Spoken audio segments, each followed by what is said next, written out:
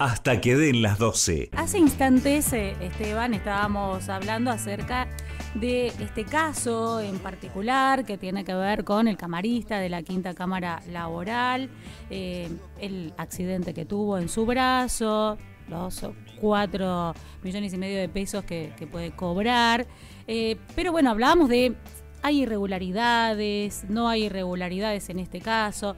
Y decíamos, nosotros hablamos por ahí desde el enojo o desde un medio de comunicación, pero queremos eh, conocer la voz de los especialistas en el tema. Por eso es que hemos convocado a un miembro de la Asociación de Abogados Laboralistas.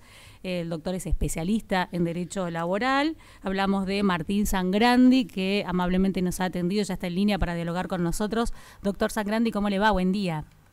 ¿Qué tal? Buen día. Bueno, este, obviamente está al tanto del caso del, camarista y nos interesa saber, este, ¿hay irregularidades en, esto? O sea, justo vino, vino a caer en su cámara, ¿qué es lo que se debe hacer? ¿Está bien lo que hizo Sánchez Rey? Cuéntenos. Bueno, mira, yo por un lado veríamos lo procesal, es decir, que eh, uno cuando eh, digamos ingresa una, una demanda hay un sorteo se llama la, mesa de entrada, mesa de entrada laboral, sortea y bueno, la verdad que es una cuestión de suerte, de suerte, no, no, no hay una, no es que porque tengan una cantidad de demandas va a saltar a otra, a otra cámara, sino que es una cuestión azarosa. Ahora, cae en esa cámara. Cae en esa cámara, primero. Por sorteo, bien. Eh, eh, bueno, de ahí, digamos, lo que pasa ahí es el problema, porque él decide eh, no sé si, en definitiva, no sé si quedó claro, eso sí se excusó de, la, de su intervención, se integró después la Cámara eh, y siguieron, digamos, sus compañeros de, de Cámara, ¿no? Claro. Eh, ¿Qué es lo que pasa después? Es que esto es consentido por la empresa provincia, es decir, digamos, consciente este proceso, consciente de que intervengan los que son los compañeros de la Cámara Laboral de ese, del juez que, eh, que demanda, ¿no? Ahora, hasta acá, digamos, mm, quizás lo que uno sugeriría por ahí es que no hubiesen intervenido, se hubiesen excusado de intervenir, claro. etcétera. Es lo que correspondería. Correspondería quizás por una cuestión ética, quizás, ¿no? Pero si está consentido por la parte demandada, ¿no verdad? Es decir, cuando vos te encontrás con que el actor y demandado están de acuerdo en que intervengan esos jueces, eh, digamos, no sé, mm, una cuestión ética, como decimos, quizás debería, o por, porque como dice el código, por trato frecuente ¿no? que había entre las partes. Ahora, yo creo que lo que está más en juego y más en discusión es la cifra de la que todos hablan, ¿no? De, por qué eh, ese monto, ¿no? y, la verdad es que el monto no está mal. Si uno saca la cuenta, o sea, saben que tenemos un, un, módulo de cálculo de una indemnización, digamos, que ha tenido, una persona que ha tenido una incapacidad de casi 25%, con el sueldo que tenía, lo que tiene ese juez, la verdad que el monto es el correcto. Es decir, no está, digamos, no es que está pidiendo más. Si no, digamos, si no interviene esta cámara, va a intervenir otra cámara, que de hecho ya sale en el diario, los diarios de hoy, que va a intervenir la cámara que le sigue, que es la cámara secta. Yo no quiero, no creo que esa cámara se niegue a oponerse, a homologar esto, porque la cifra es la que dice la ley, no es otra, ¿no? Ahora, doctor, entonces, ¿cómo es el cálculo? ¿En base a lo que uno cobra? Es decir, que si... Eh, en base a, la, exactamente. ¿Quién tiene el accidente? Se llama ingreso base mensual, se denomina, eh, que se multiplica por un módulo de cálculo, más la por la incapacidad, bueno, eso te da una cifra, ¿no? O sea, que si yo que cobro mucho... que no es nuevo, no es nuevo de que hace muy poco en el diario, en un diario muy conocido de acá, de Mendoza salió que era uno de los camaristas que tenía una muy buena remuneración, pero también por la antigüedad que él tiene, tiene 37 años de, antigüedad. Sí, sí, sí.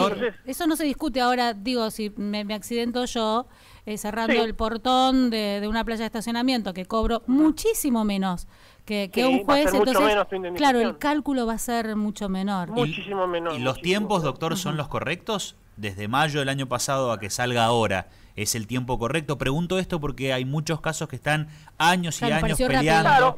Claro, la, pregunta es que el tema es cuando hay eh, discusión, ¿no? Sobre, por ejemplo, si se trató de un accidente o no de trabajo, si se ponen o no, digamos, si se discute cuál es la remuneración. En este caso casi como que eh, lo único que se discutió, te voy a decir, es que en la comisión médica se tomó una remuneración que había denunciado el gobierno, que no era la que realmente cobraba, y esa, esa discusión o ese no ponerse de acuerdo en esto hizo de que se fuese a la justicia laboral. Por eso interviene la justicia laboral, si no este juicio, digamos, esta, esta controversia podría haber terminado en las comisiones médicas. Y no haber pasado a la justicia, fíjate vos.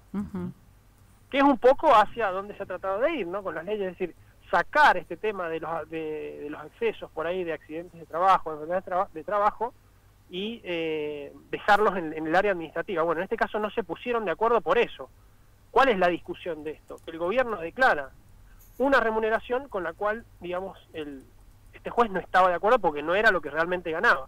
Entonces, ¿qué pasa? Esa discusión se, digamos, se llevó a la justicia y, y, digamos que sí se acuerda, creo que se acordó con la empresa, con provincia, creo que es, sí.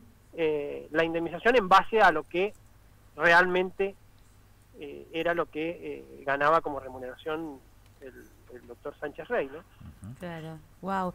No, nos parece, porque bueno, por el desconocimiento lo decimos, el módulo de cálculo que, de cálculo que injusto, ¿no? Eh, ¿Quién, quién impone esos cálculos? Bueno, esos son, digamos, son se denominan como indemnizaciones tarifadas, ¿no? esto está impuesto por la ley, ¿eh? Además, eh, con las últimas modificaciones se, se, pudo incorporar un 20% más de, ese, de esa indemnización cuando el, el, hecho o la enfermedad se producía dentro del trabajo. Eh, y quizá es un módulo de cálculo que a veces, como decimos, es ciertamente injusto, pero pero digamos es, es, es la, ley que tenemos. Claro, sí, sí. Creo que algo parecido, mirá, pasó, digo, con el tema de, de, de Zaffaroni cuando, cuando se lo se lo atacó por lo que ganaba de jubilación. Bueno, la jubilación están impuestas por ley y la ley es lo que está diciendo que una tienen este tipo de jubilaciones, ¿no? Los jueces. Bueno, en este caso la indemnización es la que está calculada de acuerdo a lo que dice la ley, ¿no? Claro. Ahí no, se está inventando nada fuera de eso. Claro.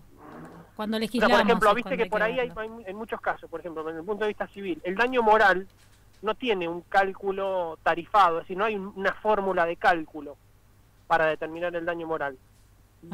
En el caso de, la ley de riesgo de trabajo sí hay una forma de calcular la indemnización. Existe un módulo de cálculo y que en este caso, por lo que veo, yo no he visto el expediente, soy muy sincero, pero sacando, eh, digamos, eh, en base a lo que él ganaba, en base a la incapacidad que, que está denunciando, no me caben dudas de que, de que la indemnización no está fuera de los límites que establece la ley. Y es tan así como dicen en algunos medios que podría terminar en un jury de enjuiciamiento para los camaristas. Sí, parece que, que esto va a terminar en, en, un juicio político a dos de los camaristas. Claro, a, los compañeros, claro. Sí, sí, sí, sí. Ah, sí, puede ser, puede ser. Okay. la verdad que desconozco esa parte. Doctor, le agradecemos muchísimo toda la información que nos ha brindado, las aclaraciones del caso y este, si a usted no le molesta, nosotros lo vamos a molestar seguido porque es muy claro para la radio.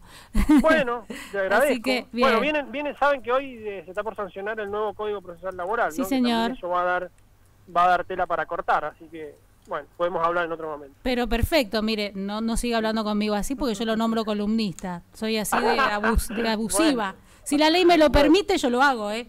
Me este, encantaría, listo. me encantaría. Doctor, eh, me parece que acaba de condenarse al aire. Le agradecemos, le agradecemos mucho eh, su participación. gracias a ustedes. Muy amable. Allí dialogábamos con el abogado Martín Sangrandi, especialista en Derecho Laboral, miembro de la Asociación de Abogados Laboralistas, bueno, hablando sobre este caso en particular y lo vamos a seguir convocando para hablar ahora sobre las nuevas normativas que vamos a tener en la provincia de Mendoza. Hasta que den las 12.